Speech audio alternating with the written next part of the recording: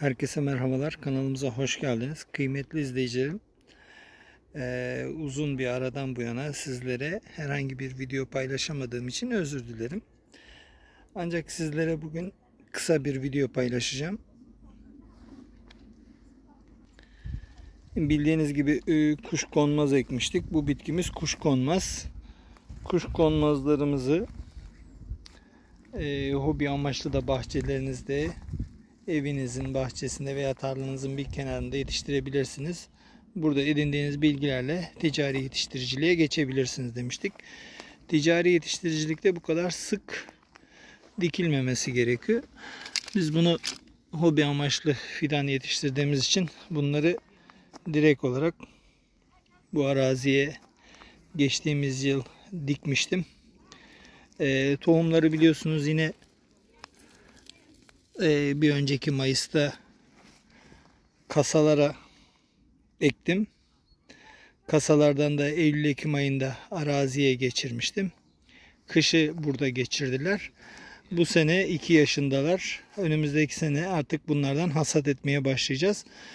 Ee, ancak 2 yaşında olduğu için e, generatif faza geçip tohum verenler de var içlerinde. Onları da sizlerle şimdi paylaşacağım.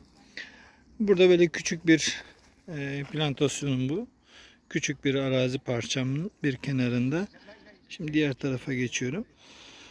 Kuşkonmaz yetiştiriciliğine başlamak için çok geç kalmış sayılmazsınız. Türkiye henüz bu konuda yeni. Ee, burada yabancı otlar var. Aslında yabancı ot değil. Yani bunlar e, tarım arazilerinde istemediğimiz otlara yabancı ot diyoruz da. Ben bunların tohumlarını alıp kuşlara veriyorum. Onun için burada bırakıyorum bu şekilde. Gördüğünüz gibi böyle tohumları var. Bunları alıp kuşlara veriyorum. Bakın şurada e, tohumla olanlar var. Bunların tohumlarını alıp bunlardan yine çoğaltmayı düşünüyorum. Bakın burada da yine tohumları var. E, normal ticari yetiştiricilik yapmış olduğumuz bahçedekiler e, F1 çeşitleri. Bu kadar tohum vermiyorlar. Çok az tohum veriyorlar. Bir de 2 yıllık e, olmuyor. Onlar genelde sürekli hasat edildiği için onların üzerinde bu kadar tohum veren e, bitki olmuyor. Evet kıymetli izleyicilerim e, daha önceki videolarımı izleyip şu anda bahçenin durumu ne durumda diye merak edenler takipçilerimize gelsin. Yeni başlayanlar da daha önceki videolarımızı izleyerekten kuşkonmaz yetiştiriciliği ile ilgili bilgi alabilirler. E, kuşkonmaz yetiştiriciliği ve diğer gübreler e, diğer bitkilerin gübrelenmesiyle ilgili soru soran takipçilerimiz var. Gübreleme ile ilgili önümüzdeki günlerde yine bir video paylaşacağım.